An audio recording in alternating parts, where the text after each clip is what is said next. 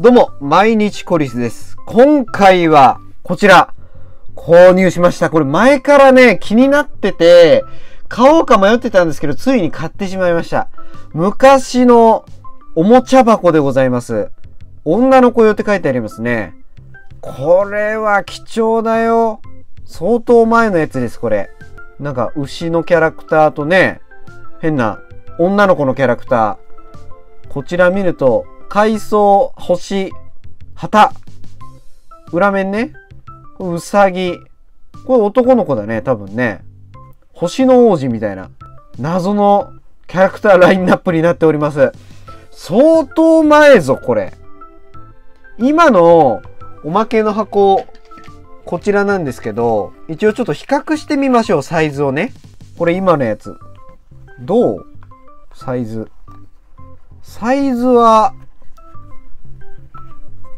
全く一緒かな？幅が違う？一緒か。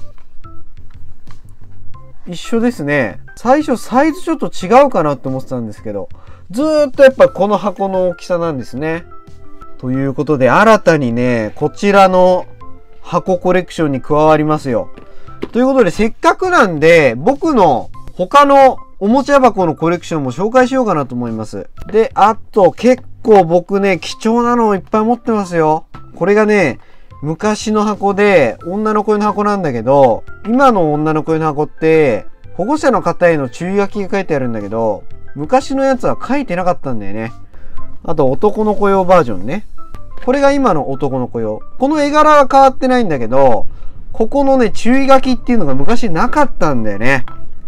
これ相当前の箱ですわ。で、あとこれね、笛ラムネが50円の時代の時の箱。1990年代とか80年代ぐらいかな。その時の、これ女の子用の箱ですね。ここに女の子用って書いてあるんですけど、これの方が多分昔だと思います。で、その後に登場した箱がこっちだとは思うんですけど、なんとなくね。絵のタッチがこっちの方が古いと思うんで。あとこれ関西限定で売ってたミックスジューチュの箱です。謎なんですけど、昔のコリスのおもちゃ箱でございます。これなんだろう、本当に謎なんだよね。ということで、まあこれが結構僕の中でもレアな箱の部類なんですけど、ここに新たにこれが加わると。いや、嬉しい。まあ、あとはざっくりなんですけど、今のこのね、ちょっと前のキャンペーンのやつとか、全部箱取ってあります。箱だけじゃなくて、未開封でもね、取ってあるんですけど、まあ一応こんな感じに今紹介してます。こんな感じね。ということで、これがね、ほとんど歴代の箱のサンプルでございます。ただまだ持ってない箱もあるんで、ちょっと道のりは長いですけど、今回まあ新たにこちら入手できたんで、またコツコツとここの笛ラムネのおもちゃ箱集めていきたいと思います。